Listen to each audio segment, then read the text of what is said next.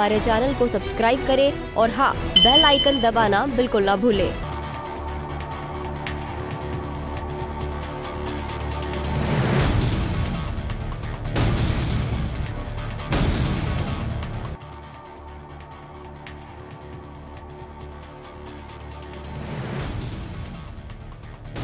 बुलंदशहर के डिबई में उस वक्त सनसनी फैल गई जब लोगों ने अज्ञात व्यक्ति का अधजला शव सड़क के किनारे पड़ा देखा। शव के पास कारतूस का खाली खोका पड़ा मिलने से आशंका जताई जा रही है कि पहले युवक की गोली मारकर हत्या की गई और फिर हत्यारों का ये गुनाह बेपर्दा ना हो सके। इसीलिए मृतक के शव को आग लगा दी गई। फ़िलहाल पुलिस ने मृतक शव का पंचनामा भर पोस्टमार्टम के लिए भेज आगे की पड़ताल शुरू कर दी है।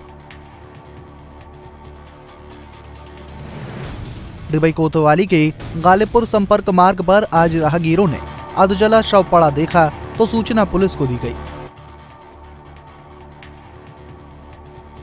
पुलिस और फॉरेंसिक टीम घटनास्थल पर पहुँची और फोटोग्राफी करा शव की शिनाख्त का प्रयास किया।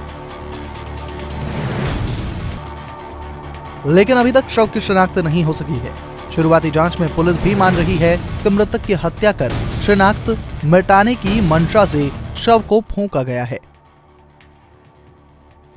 थाना डिबाई क्षेत्र में आज एक अज्ञात शव अतिजली स्थिति में मिला है और जो डिबाई हाईवे से लगभग छः सात किलोमीटर की दूरी पर गालीपुर नाम का गाँव है, वहाँ के खेतों में, जो बिल्कुल इंटीरियर है, आसपास कई किलोमीटर तक कोई आबादी नहीं है, वहाँ पे वो शव मिला है और ऐसा प्रतीत होता है गोली मार के पहले हत्या की गई है, इसके बाद शिनाख्त छुपाने के इरादे से शव को जलाने का प्रयास किया गया है 70 से 80 परसेंट तक शव जो है वो जल चुका है। फ़िलहाल पुलिस अग्रिम वैधानिक कार्रवाई इसमें कर रही है और हम शिनाख्त का प्रयास करा रहे हैं और शिनाख्त होते ही इस केस का अनावरण संभव हो सके। वहीं बुलंदशहर पुलिस के आला अधिकारियों की ओर से दावा किया जा रहा है कि जल्द ही शव की शिनाख्त कर हत्यारों को सलाखों के पीछे भेज दिया जाएगा।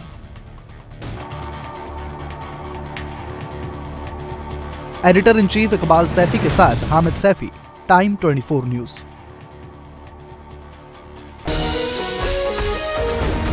Time 24 news जज्बा सच दिखाने का।